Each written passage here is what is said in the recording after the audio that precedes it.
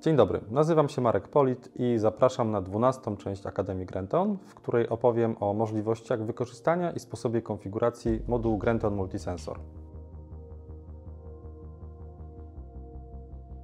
Grenton Multisensor to innowacyjny moduł, w którym zamknęliśmy szereg czujników w bardzo estetycznej obudowie. W jednym urządzeniu udało nam się zamknąć aż 7 czujników, które pomogą Wam przy tworzeniu konfiguracji i będą dbały o bezpieczeństwo domowników w Waszych systemach. W module znajdziecie czujniki, które znacie już z innych naszych urządzeń, jak choćby czujnik temperatury czy jasności, ale znajdziecie tam również szereg czujników, które znacząco wpłyną na poprawę komfortu i bezpieczeństwa życia w naszych domach.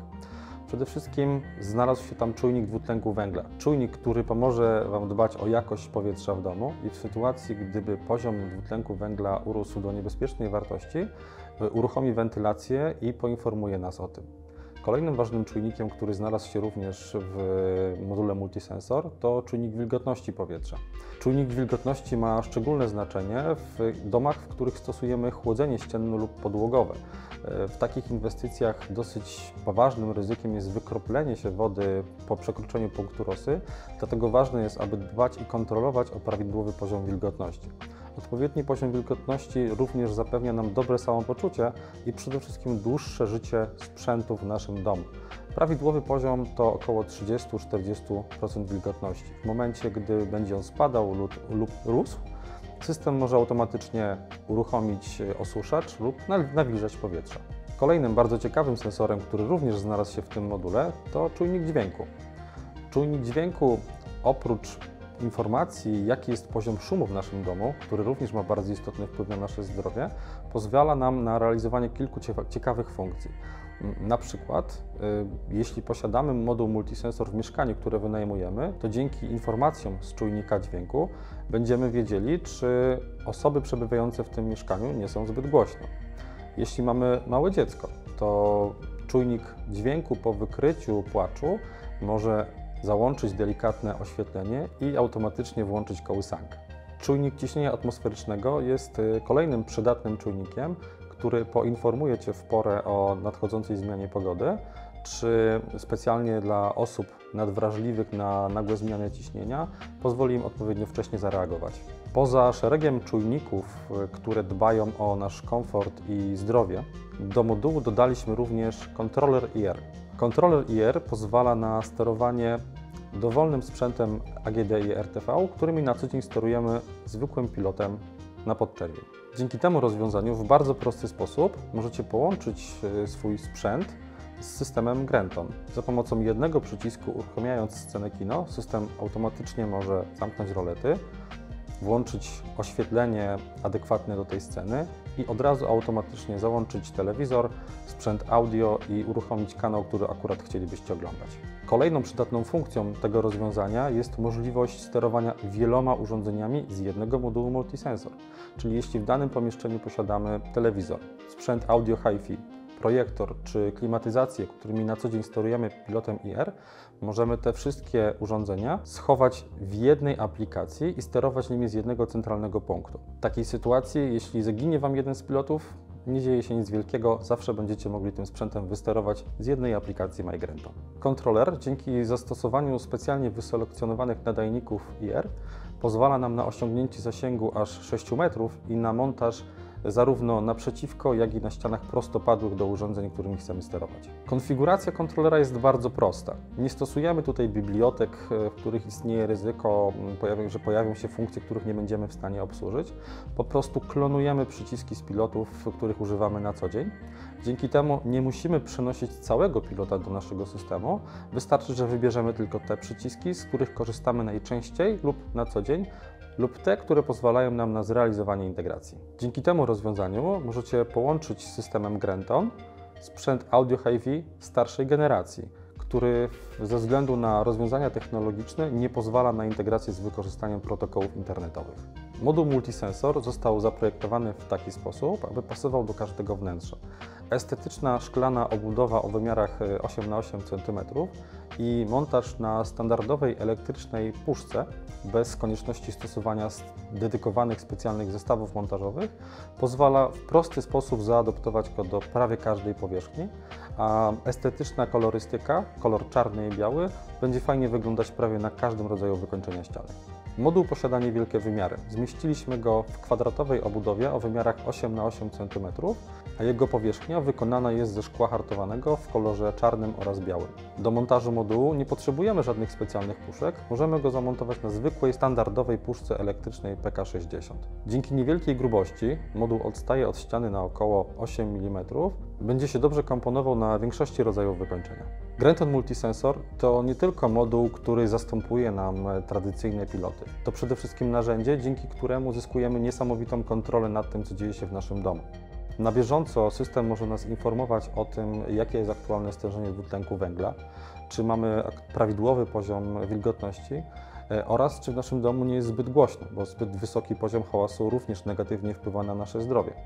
Oprócz tego, że my mamy pewną wiedzę dzięki aplikacji mobilnej, to system może sam automatycznie reagować, jeśli wykryje, że odczytane parametry odbiegają od normy i powinien wykonać jakąś akcję. Grenton Multisensor, podobnie jak nasze panele dotykowe, jest również urządzeniem magistralnym.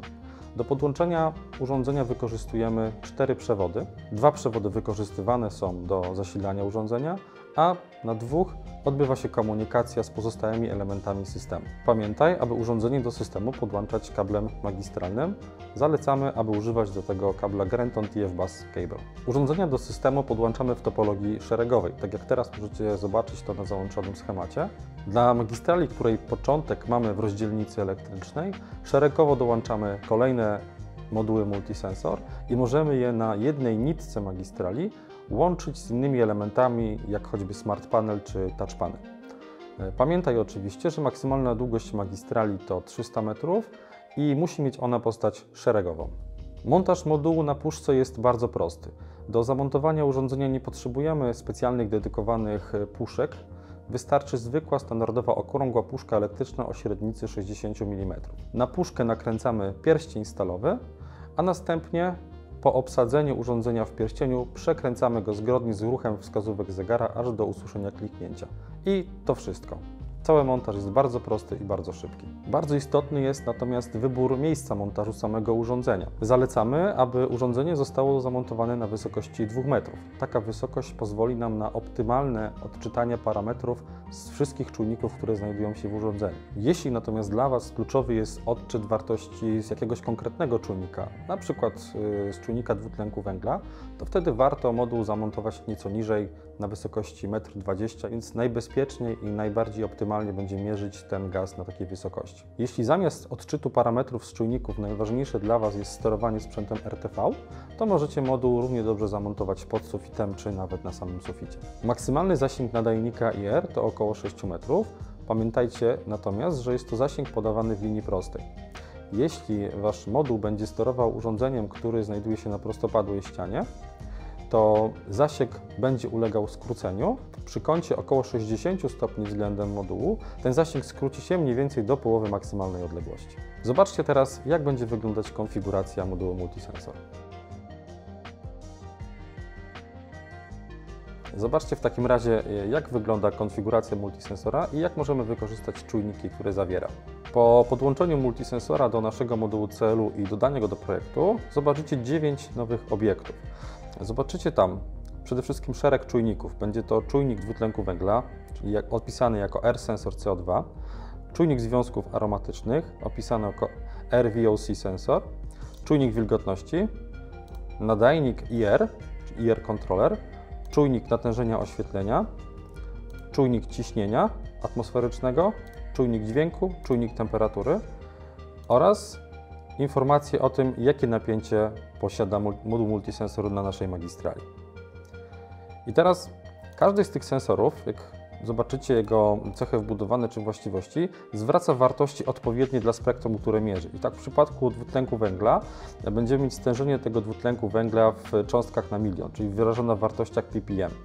E, wartość, którą dzisiaj odczytujemy na moim multisensorze to 400 ppm, co oznacza, że w pomieszczeniu, w którym przebywamy jest niskie stężenie dwutlenku węgla. Przypadku czujnika wilgotności wartość, którą otrzymamy będzie wartością procentową, czyli na przykład 39% wilgotności e, w powietrzu. Czujnik dźwięku zwróci nam wartość w poziomie hałasu wyrażoną w decybelach i możecie teraz na bieżąco zobaczyć, jak ta wartość fajnie nam się zmienia. W zależności od tego, e, jak mówię głośniej czy ciszej, od razu ta wartość nam tutaj bardzo fajnie e, się zmienia. I każdy z tych wymienionych czujników posiada swoje zdarzenia, które mm, będą bardzo podobne do siebie. W każdym znajdziemy zdarzenie on value change, czy on value rise, or, or on value lower, za pomocą których będziemy mogli teraz tworzyć i budować konfiguracje w naszym systemie. E, pokażę teraz prosty przykład wykorzystania, na przykład dla czujnika dźwięku. Zrobimy taką przykładową, fajną konfigurację. Załóżmy, że jesteśmy właścicielami mieszkania, które wynajmujemy młodym ludziom. Nie chcielibyśmy mieć problemów z sąsiadami, więc przygotujemy system w taki sposób, aby ostrzegał ich w sytuacji, gdy będą zbyt głośno. Tworzymy sobie nowy skrypt, nazwiemy go sobie alarm za głośno i następnie, następnie wstawię do tego skryptu warunek, który sprawdzi aktualny poziom natężenia dźwięku w pomieszczeniu, w którym przebywamy. Wybieram z listy czujnik dźwięku, Sound Sensor, wybieram cechę Value i jeśli wartość odczytana z czujnika będzie większa niż 75 dB, to wtedy uruchomię w tym mieszkaniu oświetlenie alarmujące, które poprzez krótkie mrugnięcie światłem ostrzeże mieszkańców, że jest troszeczkę za głośno.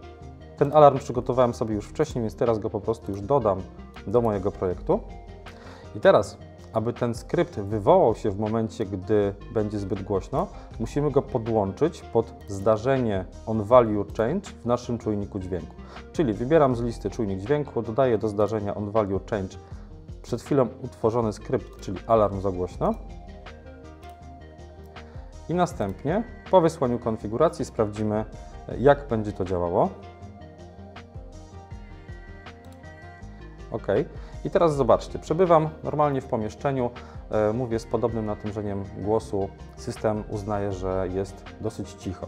W momencie, gdy poziom hałasu się zwiększy, System poinformuje mnie o tym, że jest troszeczkę za głośno i że powinniśmy się nieco uspokoić. I w bardzo podobny sposób możecie korzystać z wszystkich czujników, które znajdują się w multisensorze.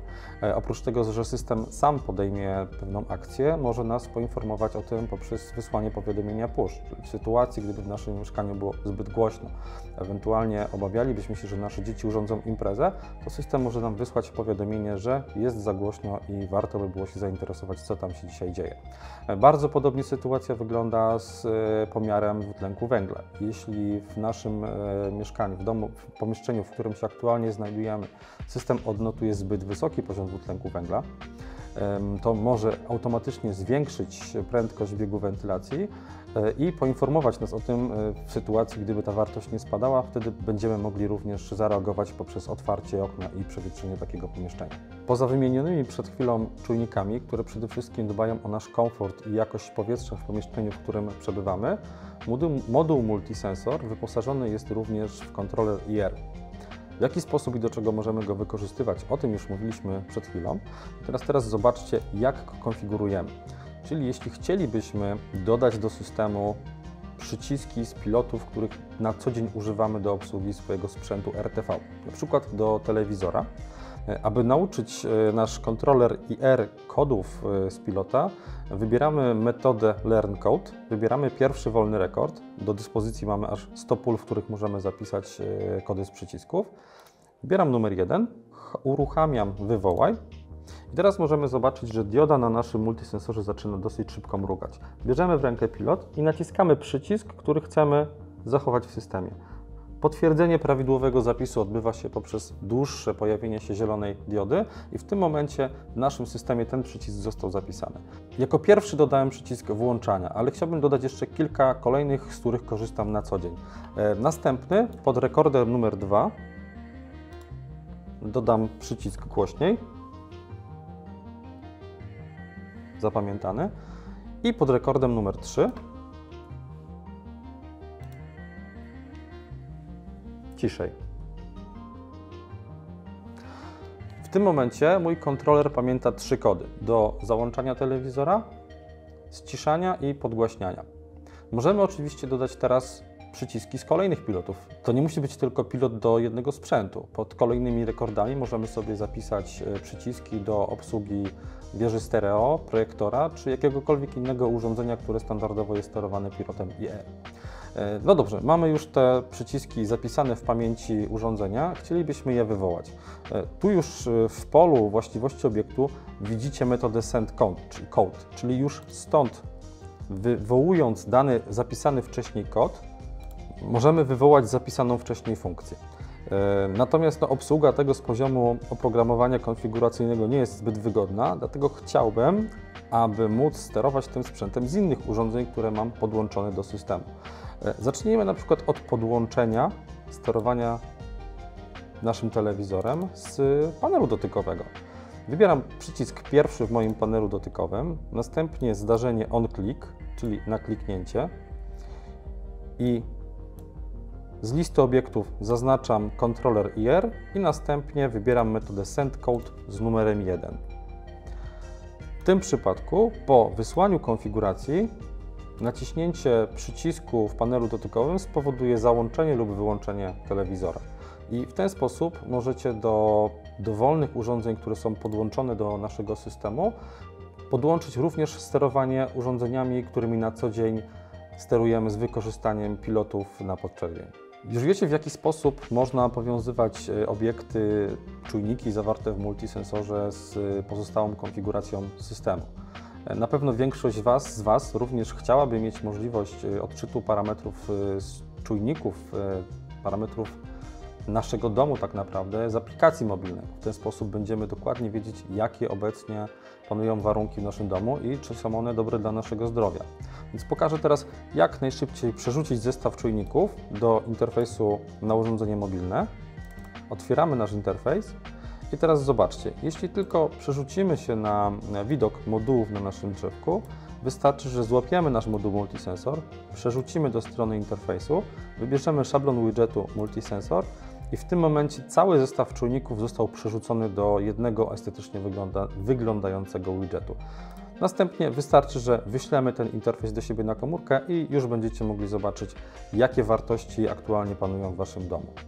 E, oczywiście również z poziomu e, interfejsu mobilnego możecie sterować każdym sprzętem, którym wcześniej skonfigurowaliśmy dostęp z poziomu kontrolera IR. Możemy poprzerzucać je w formie osobnych przycisków. Wybierając z prawej strony dowolny przycisk, wywołujemy akcję analogicznie jak wcześniej e, konfigurowaliśmy przycisk w touch panelu, czyli po prostu wybieram AirCode z listy i kod, który chciałbym wysłać z danego przycisku, ale też możecie skorzystać z gotowych widgetów, które przygotowaliśmy specjalnie pod kątem sterowania sprzętem RTV i wtedy już skonfigurować ten widget w taki sposób, aby było to dla Was jak najbardziej wygodne i tak, abyście mogli wiele urządzeń zmieścić w jednym urządzeniu mobilnym. Jak widzicie, konfiguracja modułu multisensor jest bardzo prosta, a zestaw czujników, który zawiera, znacząco rozszerza możliwości i funkcje naszego systemu Smart Home. Dziękuję za uwagę i zapraszam na kolejne części Akademii Grenton, z której dowiecie się m.in. jakie możliwości dają i w jaki sposób konfigurować moduły Gate. Do zobaczenia.